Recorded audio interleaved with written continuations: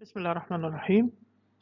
بنتنقل لموضوع تاني الموضوعات الهامة اللي هي إزاي بندير الخطر بالنسبة للإدارة المالية الدولية. ال- الأخطار اللي هي خاصة بالتمويل الدولي بتتقسم إلى نوعين من الأخطار. أخطار مرتبطة بالعملات وسعر الصرف وأخطار سياسية. لو جينا للأخطار اللي هي مرتبطة بسعر الصرف هنلاقي إنها بتنقسم إلى ثلاث أنواع.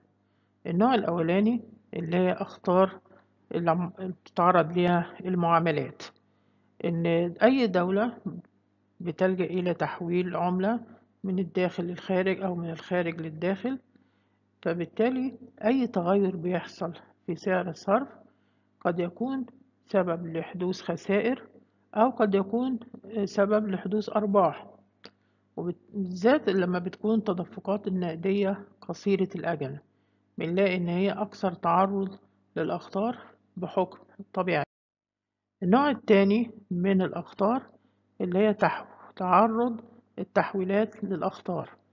التحويلات هنا مقصود بيها إن أي شركة بيبقى في الميزانية بتاعتها بيبقى فيه قروض وفيه مخزون وفيه أسهم البنود دي موجودة في الميزانية ومثبتة في الدفاتر بقيم معينة وبالتالي أي تغير في سعر الصرف بيؤدي إلى أن القيم هذه البنود سواء كانت في صورة أصول أو خصوم بيأثر على الأرباح وممكن يسبب خسائر للشركة لأنها لما اتسجلت في الدفاتر سجلت على أساس سعر صرف معين.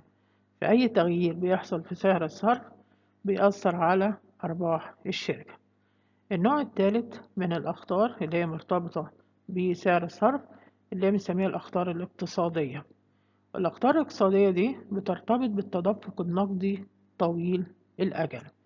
لبعض الشركات اللي هي بتضطر تشتري سلع وخدمات من الخارج وتبيعها في السوق الدولية الأجنبية عملية التبادل عملية التبادل بين العملات الوطنية والأجنبية في ظل تغير- التغيرات اللي بتحصل في سعر الصرف على المدى الطويل وبشكل مستمر ده معناه إن التدفقات النقدية هيحصل بالذات الوطنية هيحصل فيها أيضا. النوع التاني من الأخطار اللي بنسميها الأخطار السياسية الأخطار السياسية باختصار هي مجموعة العوامل اللي بتأثر على أرباح الشركة وبتحرمها من إنها تحقق أهدافها. وفي العوامل دي في الغالب بتبقى عوامل بيئية. بيبقى يصعب توقعها ويصعب السيطرة عليها ويصعب التحكم فيها. طيب جينا بعد كده قلنا إن الخطر الس- السياسي ده ممكن نقسمه إلى نوعين من الأخطار. خطر سياسي كلي وخطر سياسي جزئي. الخطر السياسي الكلي زي ما واضح من الاسم ده بيأثر على كل الشركات وكل القطاعات سواء كانت قطاعات هنا اقتصادية أو قطاعات زراعية أو سياحية وبيأثر على الشركات سواء كانت شركات صغيرة أو شركات كبيرة وبيبقى التأثير شامل على الجميع. وطبعا من ضمن هذه الأخطار الكلية زي التحول من نظام ديمقراطي إلى نظام ديكتاتوري وهكذا. ال- النوع الثاني من الأخطار السياسية اللي هو الخطر السياسي الجزئي. واضح برضو هنا من الاسم إن ده خطر سياسي ما بيأثرش على كل القطاعات ما بيأثرش على كل الشركات ولكن بيأثر على قطاع معين. زي مثلا لما تيجي الدولة تفرض قيود جمركية أو ترفع الضرائب على أنشطة معينة دون أنشطة أخرى. آه، بالتالي آه، أو في منطقة معينة غير منطقة منطقة جغرافية أخرى. ده بنسميه الخطر السياسي الجزئي. نيجي للموضوع التاني اللي هو مصادر الخطر السياسية. مصادر الأخطار السياسية في الغالب الأخطار السياسية دي بنلاقي إنها بترجع لتغيير سياسي في الفكر. بالنسبة لمين؟ الناس اللي بتحكم أو الشركات. فأنا عندي هنا لما بيحصل تغيير في الحكم بالذات الانقلابات أو تحصل تغيير في المناخ أو يحصل تغييرات في الأحزاب اللي هي آه، موجودة على سطح المجتمع أو المنظمات السياسية ال- ال- الجهات دي لما بيحصل تغيير في الفكر عندها فدي بتأثر تأثير كبير جدا في المجتمع. وفي نفس الوقت بتبعت برسالة واضحة للشركات الأجنبية إن في اختلاف في الوضع حصل.